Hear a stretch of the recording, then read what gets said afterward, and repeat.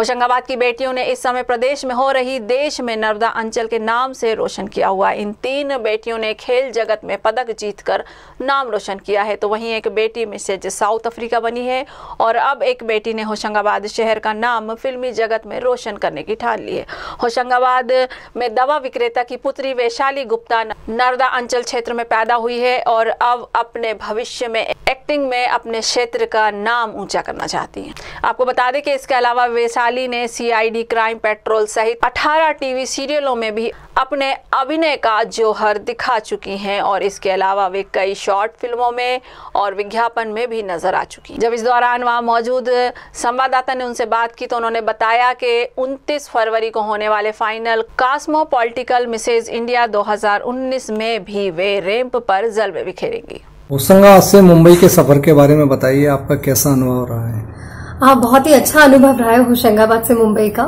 मतलब वो सिंपल सफ़र ही रहा है। उसके बाद, मुंबई में जाने के बाद, इस इंडस्ट्री में एंट्री करने के बाद सफ़र और कारवा शुरू हुआ। उससे पहले तो मैं होशंगाबाद में थी तो ट्वेल्थ तक मैंने यहाँ पे पढ़ाई किया। Then I move to Delhi I move to Bhopal. तो वहाँ पे मैंने अपना एजुकेशन कंप्लीट किया है। मास्टर्स बीटेक एमटेक दोनों वहीं से कंप्लीट किया।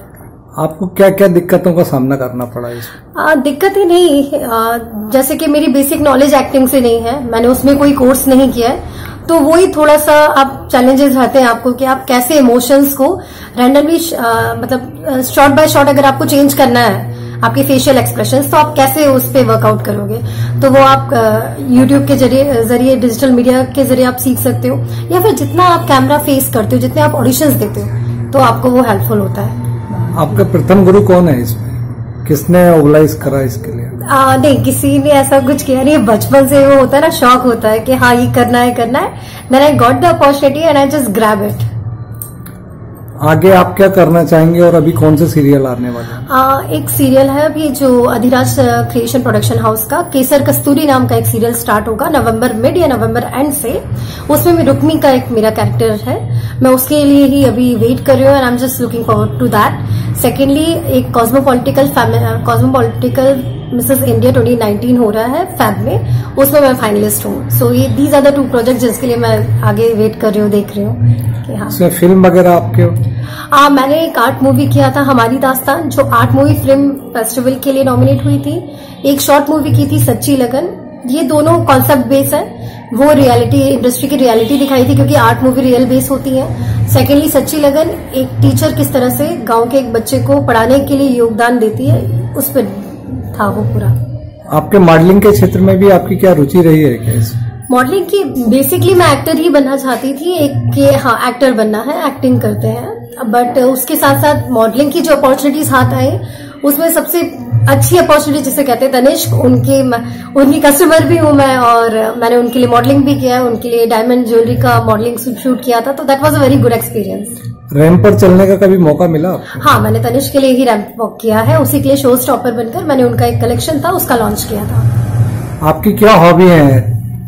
हॉबीज में अगर बात करेंगे तो आज की डेट में मैं मूवीज़ देखना बहुत ज़्यादा पसंद करती हूँ स्पेसिफिकली जो रियलिटी बेस्ड बनती है बहुत ज़्यादा कमर्शियलाइज नहीं रहती है। और सेकेंडली मुझे म्यूज़िक सुनना बहुत पसंद है डांस करना अच्छा लगता है एंड डेकोरेटिव आइटम्स घर को सजाना अच्छा लगता है।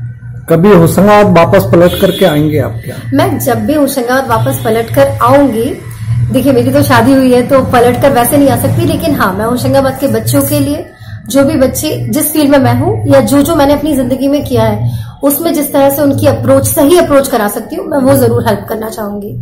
कभी एक्टिंग स्कूल डालने का मौका मिला है या कोई ऐसी चीज़ जहाँ पे ट्रेनिंग सेंटर तो आप करेंगे क्या हाँ मैं मैंने वही अभी लास्ट में लाइन में भी कहा। मैं जिस भी तरह से अप्रोच करने के लायक या मैं जिस तरह से उनकी हेल्प कर पाऊँगी मैं डेफिनेटली करूँगी। एक्टिंग अकेडमी हमारे होशंगाबाद में नहीं है। बच्चों को भोपाल जाना ही जाना पड़ता है। तो मैं चाहूँगी होशंगाबाद में एक छोटे स्तर पे एक्टिंग अकेडमी ओपन हो। आपने होशंगाबाद से होशंगाबाद का माहौल देखा बॉम्बे का देखा तो आप इसके बारे में थोड़ा अंतर बताइए। आ, मैं तो होशंगाबाद से हूँ माँ नर्मदा की कृपा से माँ नर्मदा की बेटी हूँ नर्मदांचल जिसे कहते हैं हम अपने शहर को। तो मुझे तो हमेशा इसी इसी पे इसी बेस पे इसी तलगरे पे रहना अच्छा लगता है। मेरी अपब्रिंगिंग पूरी यहीं से हुई है। मैं ये नहीं कहूँगी कि मुंबई बेकार है वो भी बेकार नहीं है वो सपनों का शहर है। हम अपने ड्रीम्स पूरे कर सकते हैं लेकिन आना हमें वापस अपनी नींद पे ही चाहिए ये मेरी हमेशा सजेशन रहेंगे। आपकी बेटी वैशाली आज सफलता के शिखर पर है तो आपको कैसा लगता है और उसके बारे में थोड़ा सा बताइए। वैशाली क्या है? वैशाली का देख के मेरे को बहुत अच्छा लगता है। और वैशाली क्या है कि बचपन से ही बहुत शरारती रही है और बात भी बहुत करती थी वैशाली। और फिर इसको क्या है मॉडलिंग और ये एक्टिंग का शौक शुरू से ही रहा है। और फिर जब इसकी शादी हुई, ये बॉम्बे पहुँची, शादी इसकी बॉम्बे में हुई तो फिर इसको वहाँ पर इसके लिए इसको मतलब चांस मिल गया एक्टिंग के लिए। फिर वहाँ जाके इसने इसके लिए ट्राई करा। तो ये काम करने वगैरह घर के काम वगैरह में भी इंटरेस्टेड रखती थी हाँ रखती है खाना वगैरह वगैरह सब बना लेती है बहुत तेज़ी से काम करती है।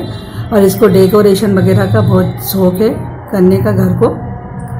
आज जिस सफलता पे वो है शिखर पर उस आपको कैसा महसूस होता है उसको उसको देख के हमको बहुत अच्छा लगता है। वो आज जिस मुकाम पे है उसको देख के हमको बहुत अच्छा लगता है। अगर आपको कभी कोई चांस मिले फ़िल्म इंडस्ट्रीज़ में इनकी माँ बनने का हम्म। तो आप क्या जाएँगे क्या? नहीं मैं पूरी कोशिश करूँगी जाने की और मतलब पूरी कोशिश करूँगी कि मैं उसके साथ उसका माँ का रोल कर सकूँ। कभी इच्छा होती है आपके? नहीं, अब इच्छा तो नहीं हुई है, लेकिन चांस मिलेगा तो जाऊँगी ज़रूर। जैसे कभी मौका मिलता है उसके साथ काम करने का माँ का रोल का। होशंगाबाद से ये थी शशिकांत शर्मा की रिपोर्ट।